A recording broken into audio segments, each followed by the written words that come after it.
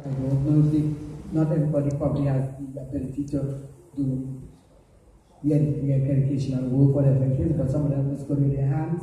So one of the challenges that the, the schools have been sen- sending up the children at a higher grade and they're not ready, they can't even the that they are. Yeah, this is a very common situation. Even in the States, you might be surprised to learn the CIO, and CEOs that I do consulting work, even with on Wall Street, they struggle to get college graduates from some of the best colleges who can read and write well. Surprised? No? Young people today have, in the States at least, in Australia, have a sense of entitlement. They think everything should just be given to them.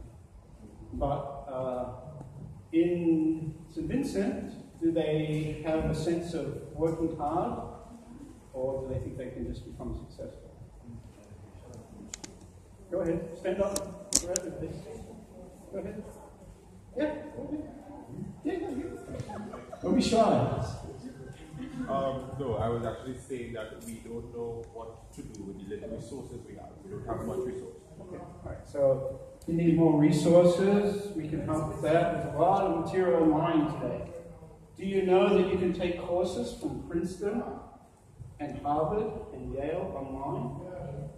You take those courses. You won't get the certificate for it, but you get all the information. Stanford has all kinds of courses. So, oh, we lost our connection. Somewhere. Okay. So there's a lot of uh, a lot of challenges in education, and we're going to be talking about how we can help build good character so young people can become successful. One reason why I want you to stand up and talk, the number one fear of Americans, what do you think is? I'm going to ask Kay. I'm going to pick up Kay. Number one fear of Americans.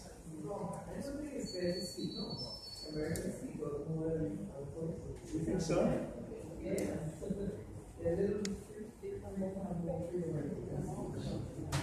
Like say in North Korea or China or something like that. Okay, yeah, compared to Asian countries. You know, in Asia, you're not allowed to ask a question in class.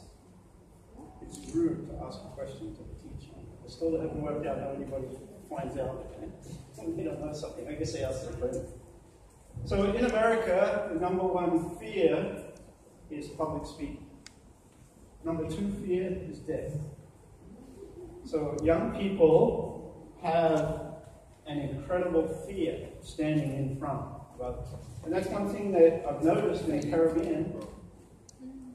You have great voices, and you have also very vibrant personalities.